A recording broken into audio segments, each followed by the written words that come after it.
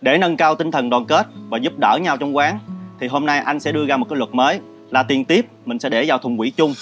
Cuối ngày mình cộng lại và chia đều cho mọi người nha. Phú, hình như em không đồng ý với ý kiến của anh đúng không?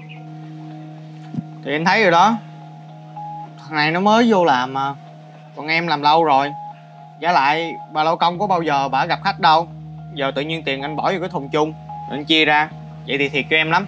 Em không chịu đâu Thì anh cũng đã nói rồi. Vấn đề này á là để giúp đoàn kết và giúp đỡ nhau của các nhân viên trong quán. Cho nên anh đã suy nghĩ rất là kỹ Nên mới đưa ra quyết định như vậy. Nhưng mà Phú, đôi lúc em cũng đâu có tiền tiếp đâu Đúng không? Dạ. Thôi, quyết định như vậy đi. Mọi người hãy cố gắng làm việc nha. Mới vô quán đặt. Tiếp tiếp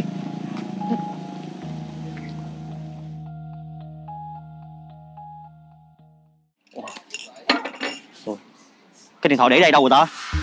Dạ, anh kiểm tra kỹ lại đi. Hay là anh bỏ trong túi á? Không có, tao kiểm tra kỹ rồi. Mày lấy điện thoại tao đúng không? Hồi nãy giờ chỉ có tao với mày ở đây à?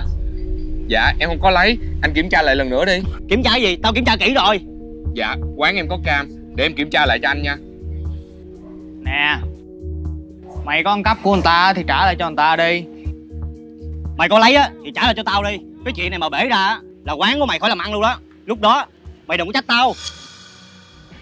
Dạ anh ơi Có chuyện gì vậy anh? Anh Phong Trung nó ăn cắp điện thoại khách á anh. Anh coi nói chuyện lại với nó anh. Để tôi check camera.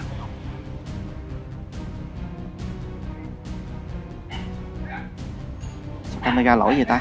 Thôi anh ơi Coi như của đi thay người đi. Mày có bị điên không? Điện thoại của tao mất trong quán của tụi bay.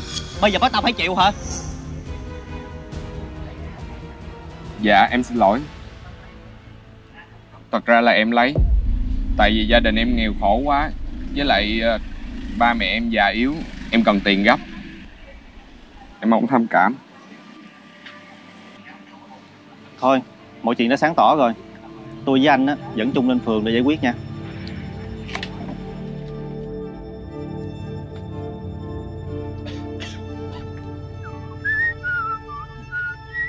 Phố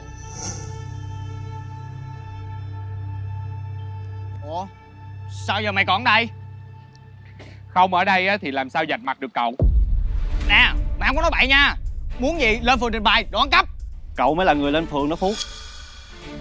Anh Phong Mày làm gì vậy?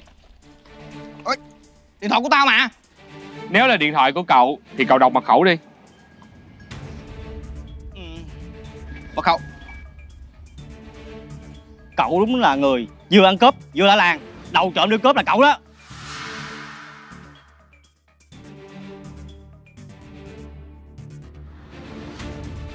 Anh ráng thông cảm em nghe. Trong chiều nay Em ráng kiếm tiệm gửi lại anh. Dạ rồi dạ rồi dạ rồi.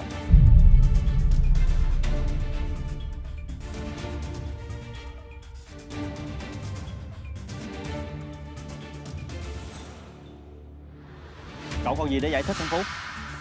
Thì ra Là ba người cùng phe gài tôi đúng không? Không vào hang cọp thì làm sao bắt được cọp?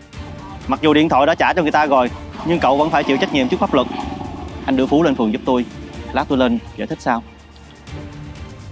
Anh đi Anh Phong. Nói giúp em tiếng thì tha cho em lần đầu mà anh Phong. Anh Phong Anh Phong ơi.